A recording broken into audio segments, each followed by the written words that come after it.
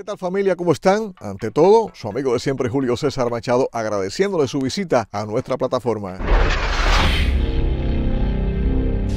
Queremos en diferentes videos darles el resultado de los modelos que más vendieron en el 2018. Recuerden que nos referimos a las ventas aquí en Estados Unidos y en este video nos vamos a concentrar en los vanes familiares. Recuerden también que no siempre los que más venden son los mejores. Primero hablaremos de las ventas y al final del video le estaremos comentando sobre la puntuación que le ha dado Consumer Report a los diferentes modelos. Y ya comenzamos nuestro conteo con el número 5 para el Kia Sedona. Con un interior bastante elegante comparándolo con su competencia, logró entregar 17.928 unidades, un descenso del 24.72% en sus ventas si lo comparamos con el año 2017. De los cinco vanes, hubo dos modelos que no lograron mejorar sus ventas y este fue uno de ellos. En el cuarto escalón, el Toyota Siena. Sin dudas, sigue siendo una buena opción a la hora de viajar con la familia. De este van se lograron vender durante los pasados 12 meses 87 7.672 unidades, un descenso del 21.36% en relación con el año anterior. Y antes de continuar con nuestro conteo, les recuerdo suscribirse a nuestro canal si es que todavía no lo ha hecho. En el número 3, otro japonés, el Odyssey de Honda. Aunque su rediseño exterior pasó desapercibido, aún así Honda mejoró su potencia, economía de combustible y conducción. De este otro modelo, 106.327 unidades salieron del concesionario para un aumento del 6% con relación al 2017. Llevándose el número 2, uno de Chrysler, el Pacifica. Anteriormente Chrysler era la más popular en la fabricación de los minivanes durante muchos años, pero con el paso del tiempo Honda y Toyota le han estado haciendo una fuerte competencia. De este ejemplar salieron para las calles 118.322 unidades, un aumento del 0.4%. Y en el número 1, el Dodge